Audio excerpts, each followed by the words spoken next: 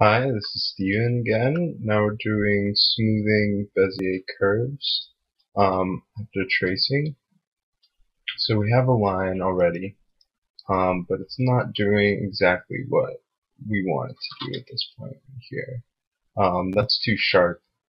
Uh, so after you get your general outline and everything, that's the time to come back and and make things a little smoother and look a little more natural.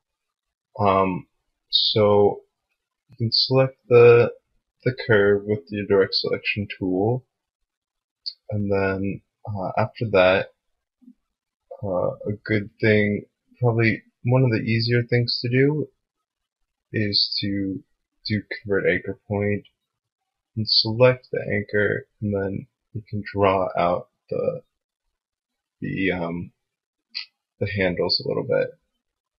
Uh, and in this case, when you hold Alt, um, you won't be able to just change one, which you're doing both right now.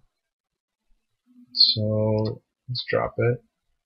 Um, that's still not exactly right, and you know you can switch back to direct uh, selection tool, select one of the handles, and now when you do, um, you know that you might be able to move it around a little bit, and that should help.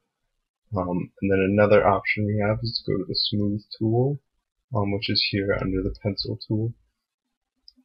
And uh, if you go back and forth, uh, it'll it'll change the shape of the line. Um, and now this is kind of a, a, funky tool because the more zoomed in you are, um, you know, the more the less space you have to move around, the less it'll affect it. Um, but if you zoom way out and then do your smooth here, if it's going to work for me, uh, then then it'll have a larger effect. And also the direction that you pull the line is going to change how the shape of the curve is. So that looks a little more natural, but still it's it's a little strange. So I'm gonna take the the handle and kind of pull it down, and that'll give us a nice nice more natural curve. But then over here, um, you see the handle is going below the line, which is ending up giving us this strange lump.